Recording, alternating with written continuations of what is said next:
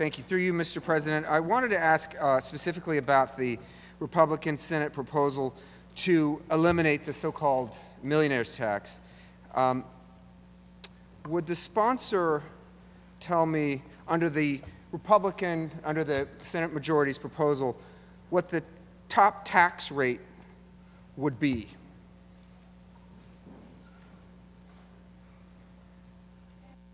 Thank you. Through you, Mr. President, the top rate would be 6.85%.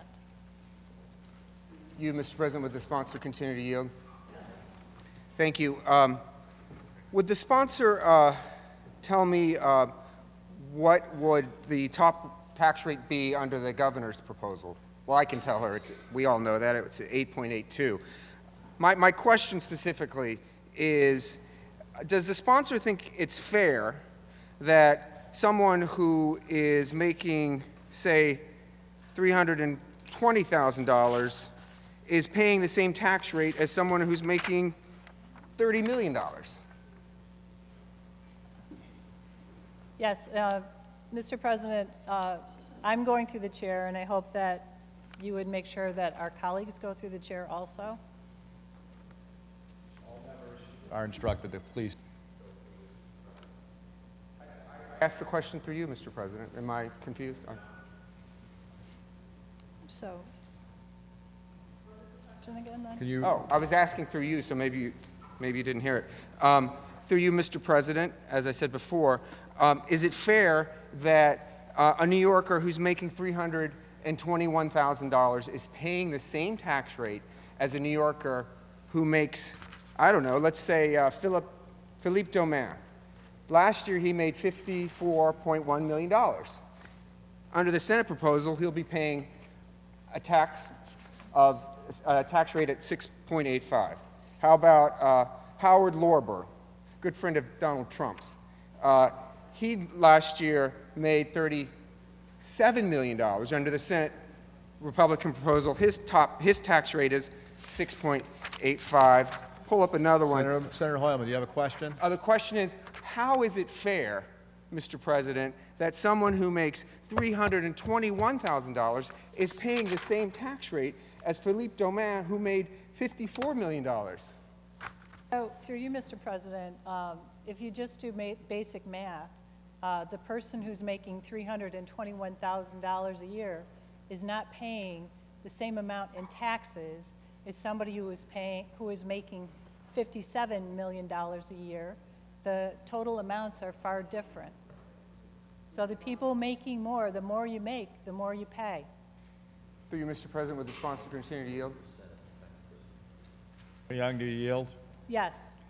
Yields. Would the sponsor agree, though, that the individual who makes $321,000 and pays a, a tax rate at 6.85 is paying more taxes as a share, as a share of their income than someone like Howard Lorber, who's paying at the same tax rate, 6.85, and who made $37 million last year?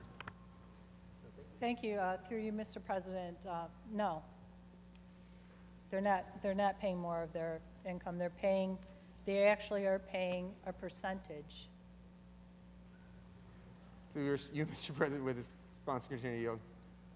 Sponsor yields. Well, I, I respectfully disagree, and, and I have done the math. You, the individual at the, who's making, an individual who is only making $320,000 a year is paying more, a greater share of their income than the individual who's making $30 million a year if they're paid, if they're paying the same tax rate. And I will say this too, um, why is it fair, another question, would the, would the sponsor continue to yield? Sponsor yields. Why, how is it fair that someone who makes only $42,000 a year under the Senate plan would be paying, would be at a tax rate of 6.45%? $42,000 a year, 6.45%. Yet, yet Philippe Dauman would, would, would be paying at a tax rate that's only four tenths higher than that. How is that fair?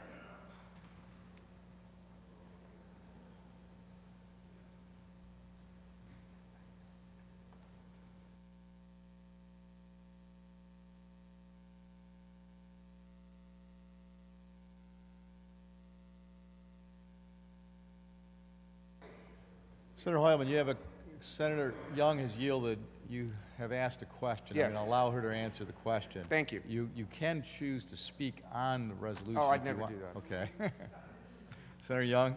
Through you, Mr. President, actually, the exemptions and deductions are a greater percentage of taxable income for the person making $321,000 a year than they are somebody making $30 million a year. Through you, Mr. President, would the sponsor continue to yield? Yes. Sponsor yields.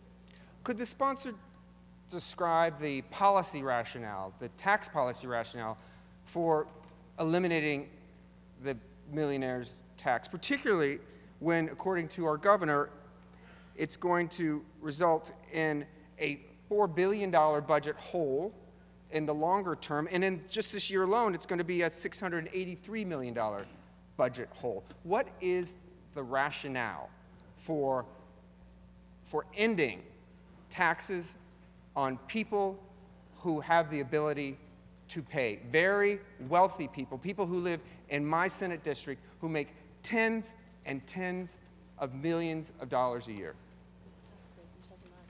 Thank you, through you, Mr. President. Actually, um, the, uh, this, this particular tax is set to expire this year. And uh, when the other side was in power, they actually made that rule so that it would expire this year. So that's number one.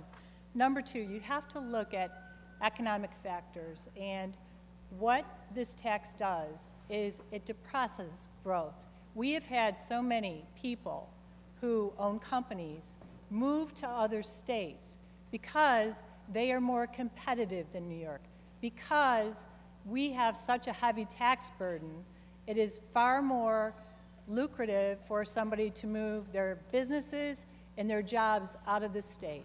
And as a result, we have seen middle-class New Yorkers um, and lower-income New Yorkers lose their jobs. So what this uh, intent is today is to stimulate the economy so that we have good-paying jobs for the people of New York, so that our young people can stay after they graduate. Unfortunately, right now, our greatest export out of New York are our jobs and our young people. And what our conference is aiming to do is to turn that situation down because we need to create more opportunities so that every New Yorker has the opportunity to succeed. And the way that we are going to do that is to grow the economy and grow more jobs. Mr. President, would the sponsor continue to yield? Sponsor yields.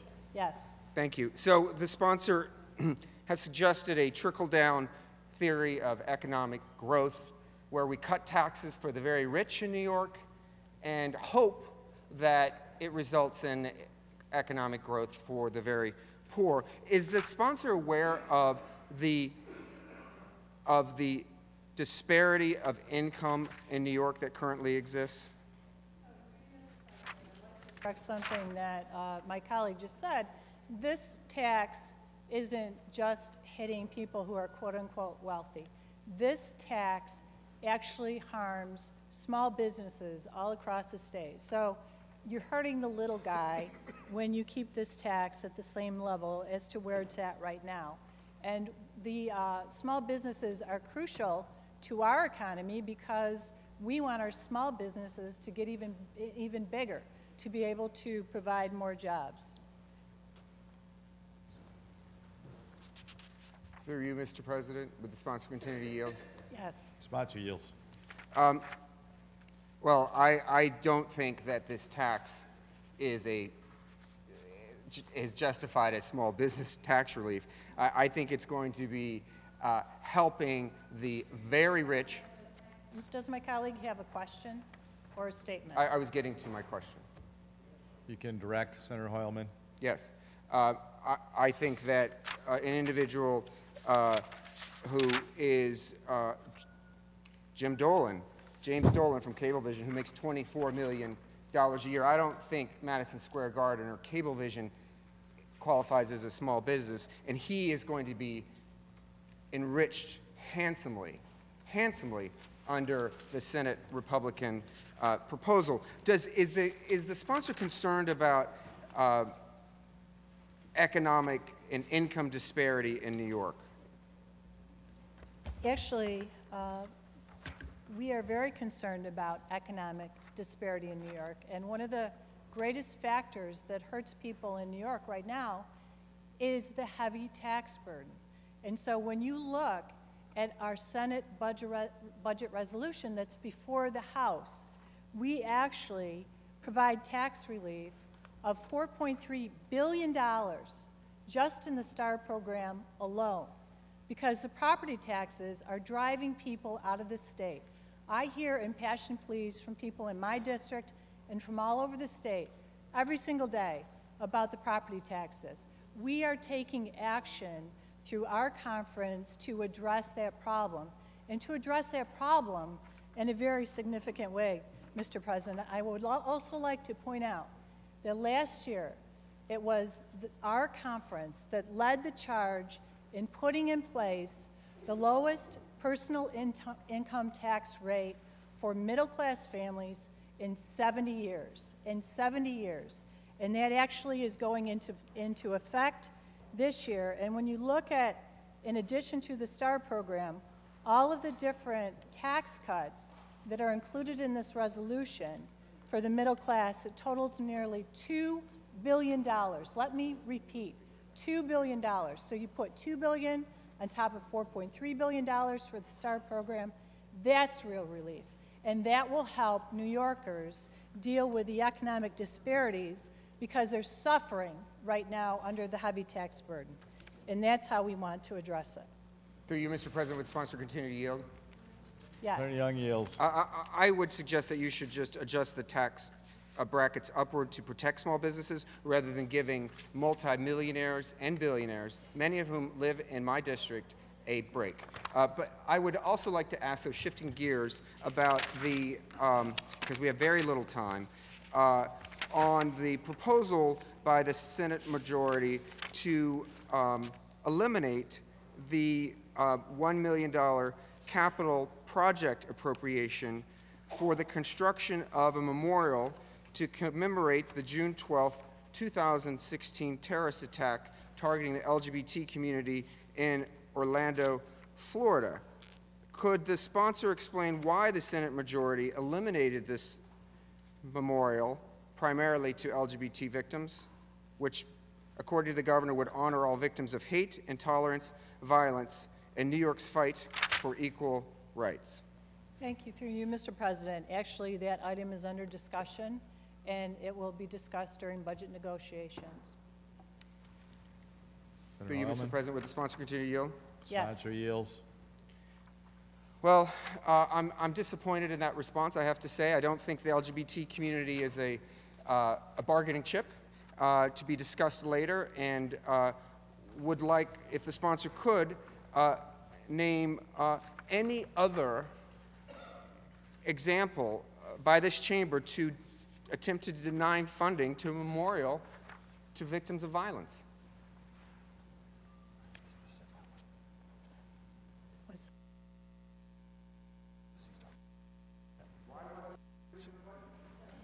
So through you, Mr. President, as I said, this uh, topic is uh, an important topic, and it will be discussed during budget negotiations, which, after we pass this one-house resolution, the Assembly does theirs, then hopefully we will go to conference committees and uh, discuss these issues in a very transparent way. Yield? Sponsor yields. I, I, I, it was specifically removed from the governor's budget proposal. So to suggest that it is under consideration, I think, eh, gives me a little comfort. The amount is six ten thousandths of 1% of the $152 billion budget. I have to say, Mr. President, that that was a conscious attempt. Senator Hoylman, again, do you have a question? You've Yes, I do, for- sir. Could you pose the question? Does the sponsor, Again, in the essence of time. Does the sponsor, I, I believe it was a conscious attempt to, to remove uh, a, a, a tribute to the LGBT community. Does the sponsor believe that the public should not have the opportunity to provide such a tribute uh, to the victims of Orlando? said, uh, we will be discussing this item moving forward, and uh, it'll be open and transparent, and I'm sure we'll come to a conclusion on it. Would the sponsor continue to yield, Mr. President? Yes, Sponsor yields. Shifting gears, uh, I wish to ask the sponsor about um, water quality. Um, Does, um, and the fact that the executive budget contained two proposals to address drinking water contamination. Um, Those were removed by the Senate majority. Um, Does the, um, does New York State, I wish the sponsor to answer, have a legal requirement that private drinking wells be tested for either regulated or unregulated contaminants?